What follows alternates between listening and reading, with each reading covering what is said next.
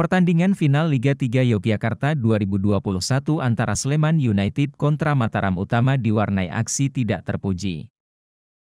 Wasit pertandingan dipukul dan hingga diinjak-injak. Muhammad Solecudin, pemain Sleman Utama tidak bisa mengontrol emosi. Dalam video yang beredar di media sosial, pada menit ke-82 Solecudin menampar wajah wasit Ihsan. Insiden ini membuat pertandingan terhenti.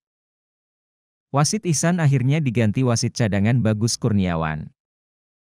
Dari masyarakat luas yang menyaksikan laga ini kembali kita saksikan, ini harus ada kartu merah.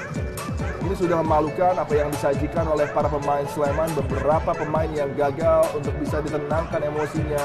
Apriansyah berupaya untuk bisa, ini dia, gerakan tangan menuju bagian wajah.